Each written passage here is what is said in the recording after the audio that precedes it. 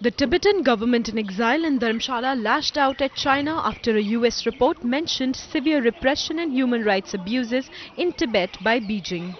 Spokesperson of Tibetan government in exile, Tashi Phuntsok, urged the international community to take a note of the report.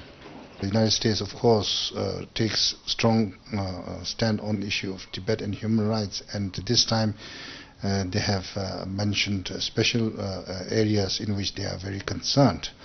And we think this is important for the world to know that whatever China says in public, it still continues its severe repression, of course, uh, all over uh, China, but more st strictly in.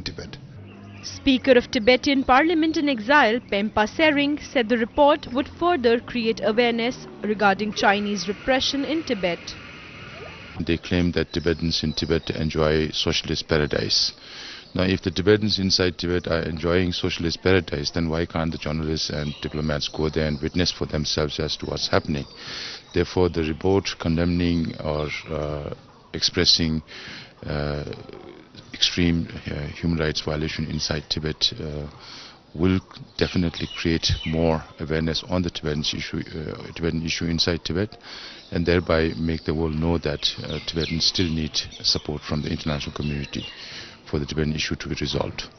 China says the Dalai Lama, who fled into exile to India after a failed uprising against Chinese rule in 1959, is a violent separatist.